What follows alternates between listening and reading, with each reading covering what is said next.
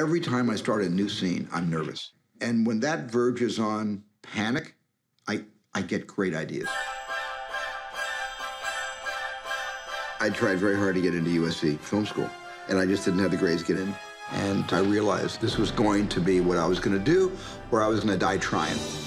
When I got into the group of the movie brats, it was the first time I felt like an insider. This is Steve, and get the camera arranged. Great. The word around town was Jaws was a folly and that it was going to be a disaster.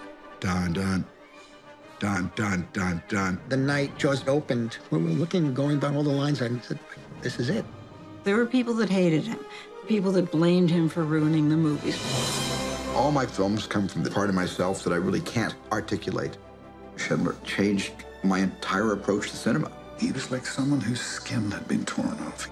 He has a dynamic sense of real filmmaking. You think of that young kid one day sneaking his way into a studio and manifesting his own destiny. It's a pretty fantastic Hollywood story.